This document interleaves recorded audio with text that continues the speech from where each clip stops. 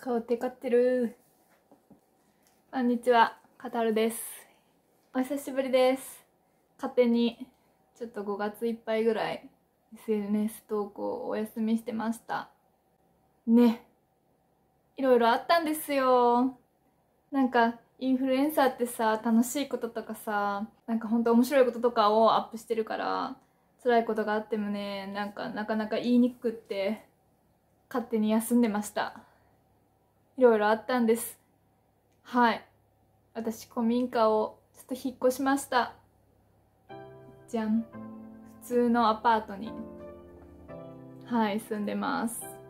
引っ越したんですけどまだ萩には住んでて萩で仕事をしています。そう。なんかねでも今の家もすごく気に入っててなんかいろいろ紹介したいんですけどちょっともうこういうご時世なので。怖くて。まあここに来た人だけお教えしますね。ちゃんと布団もあるので友達の方々は泊まりに来てください。ちょっとね何があったかはまた話せる時が来れば全然話すんですけど今ちょっと未定ですね。そう。で結構いろいろ人生とかも迷ったりしててまあ私は常に迷ってるんですけど萩に住み始めて1年半ぐらい。結局なんか自分がこういうことしたいとかがあんまりこう見つからなくて。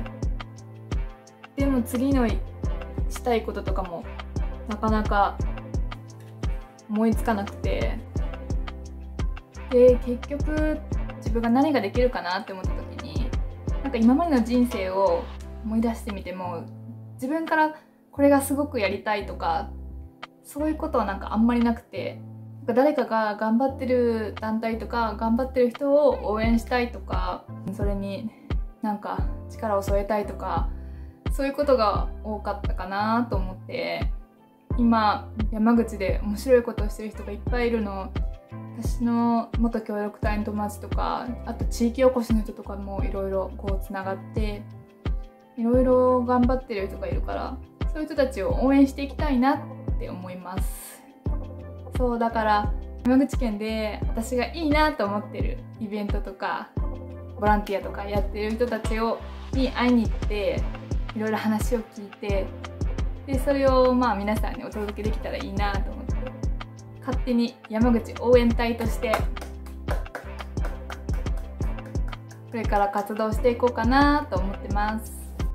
なんかさ不思議なもんでさそういう風にしようかな外にこう出ていこうかなと思った途端いろいろこう案件とかを送ってもらって、まあ、イベントもちょっと参加させてもらったりとか今度また子どもたち向けのワークショップをしたりあとまあ JICA でのね経験談を話す機会とかももらってなんか本当に決意した途端いろいろこうやっぱり舞い込むんだなと思ってます。あんまり上手に話せないんですけどその活動の様子とかをつもみたいに Vlog みたいな感じでこう皆様にお伝えできたらいいなと思ってます。そうなんで古民家の様子をなんかあんまりこう楽しかった様子とかを見せれなくてちょっと残念なんですけどまあマンション暮らしになったということででもこれから山口県の楽しいことをいっぱい紹介したいと思いますのでどうぞお楽しみに。まずはテントサウナをしてきたのでその様子をどうぞ。おはようございます。カタールです。今日はですねイベントのお手伝いです。なんとテントサウナ。主はね忘れ物を取りに行かれたので何も準備できないんですがこんな感じ。見て。私の新しい椅子やっと使える。かわい。い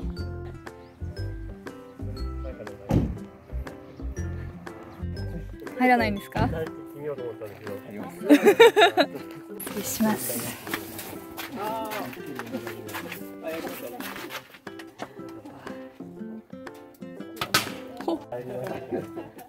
まあどこも同じでしょうけどね。どこ住んでも